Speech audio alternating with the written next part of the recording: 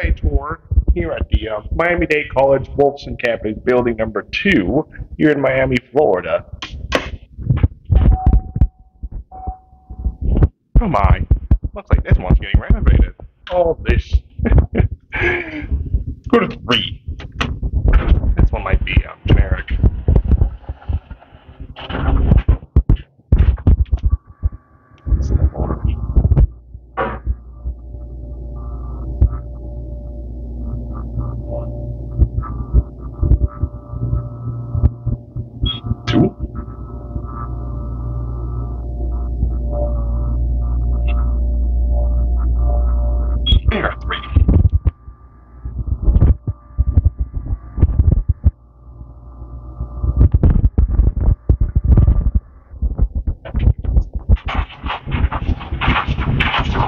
Go down to uh, one.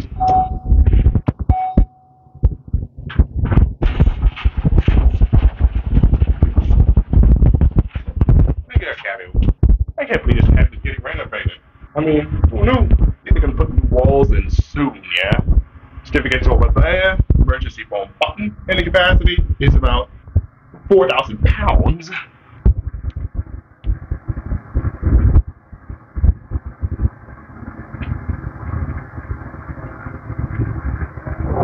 Yeah, one.